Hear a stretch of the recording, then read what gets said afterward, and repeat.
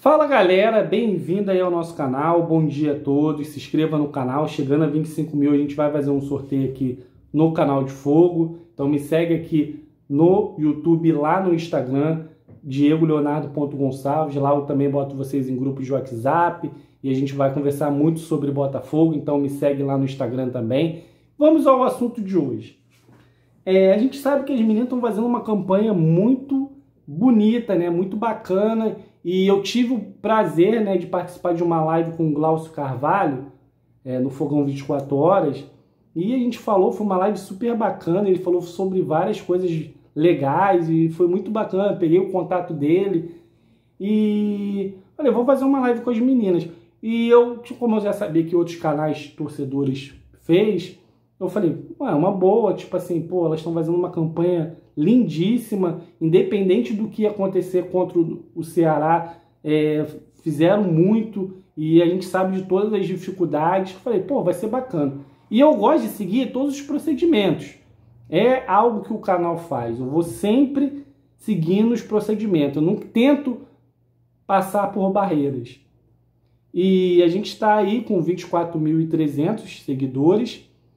Falei, vai ser bacana, o pessoal vai gostar tal de ver, ouvir essas meninas, a história, né? Porque a história é muito bonita, né? De qualquer pessoa ter uma história, ter uma. É, se elas pensaram em desistir, como ela enxerga o Botafogo, o que elas sentem vestindo essa camisa. Então tinha muita coisa a ser abordada. E aí que eu cheguei na assessoria de imprensa e me falou que me falou que eu não era jornalista, né? não tinha matrícula tal. Até brincando, não brincando não, falou sério, falou, poxa, você não é o Thiago Frank, o TF, não é o Brown, jornalista tal. Aí eu falei, cara, aí falou, pô, se abrir pro torcedor, se abrir pro torcedor, pô, é muita gente tal. Só que aqui eu penso assim, claro, é o Botafogo, cara.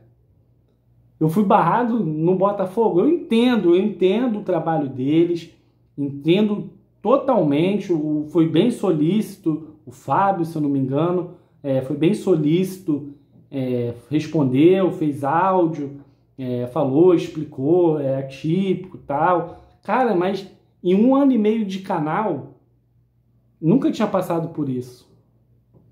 E é meu time, cara, é meu, é meu Botafogo. É frustrante isso, porque eu tava lá nas eleições é, e eu sou assim, cara, eu vou, eu vou aonde tenho que ir. Fui nas eleições, poderia ter entrado? Quase entrei. É, quase me colocaram para dentro. Mas eu, eu não vou pegando meus contatos e tentando chegar a, a isso. Se o meu, eu sou obrigado a ficar lá fora, eu vou ficar lá fora. Porque é uma eleição, tem é, é, os votantes têm um procedimento tal. Eu, eu aceito isso. Só que agora é diferente.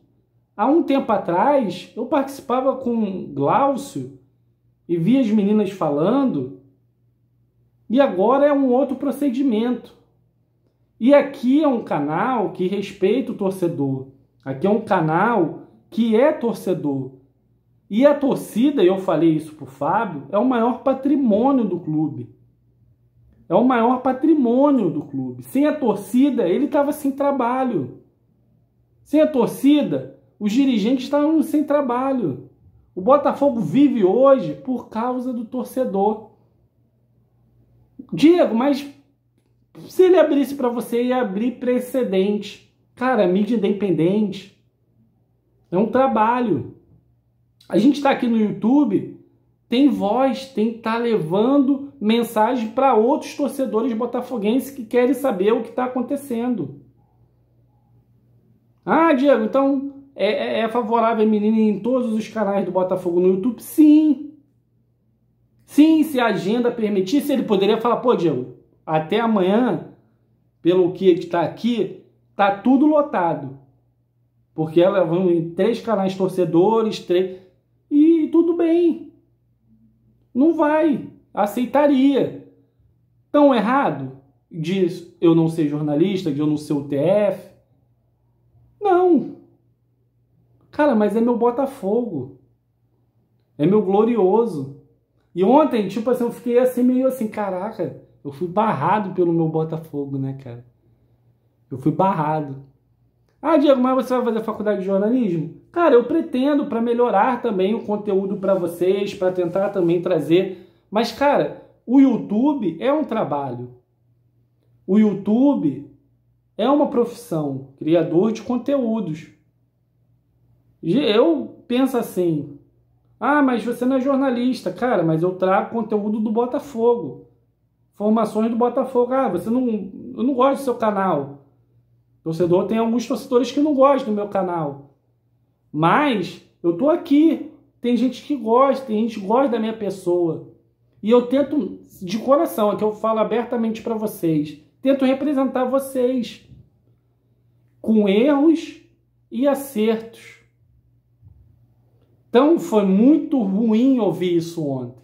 Foi muito triste. Porque isso daqui é um clube tradicional, é um clube de torcedor. É o que eu falo. Lá dentro não pode ter status. Não pode ter status. Primeira vez que eu ouvi isso, eu já fui em outros assessores. Já fui em outros assessores. E nunca ouvi isso. Mas aí eu estava até conversando é, com a minha esposa, aí ela falou: Não, mas já entrevistou alguém do profissional? Não. Pode ser que seja o mesmo procedimento. Pode.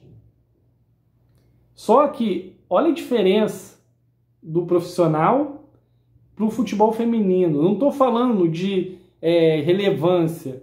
Eu estou falando do que é hoje. A gente sabe que o futebol feminino está crescendo, mas ainda falta muito para chegar, pelo menos aqui no Brasil, ao nível do futebol masculino em relação a financeiro, a relação a campeonatos, a relação em patrocínios.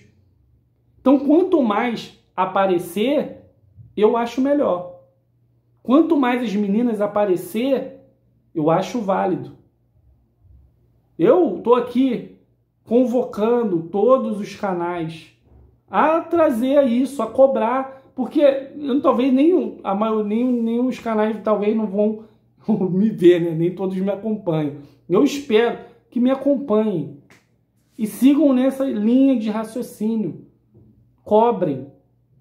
Porque tem canais jornalistas, jornalistas e tem canais de torcedores todos no mesmo objetivo que é o bem do Botafogo. Então quis trazer esse relato aqui para vocês, para vocês se inscrever, galera, participar de todos os canais, porque só assim a gente vai quebrar essa barreira.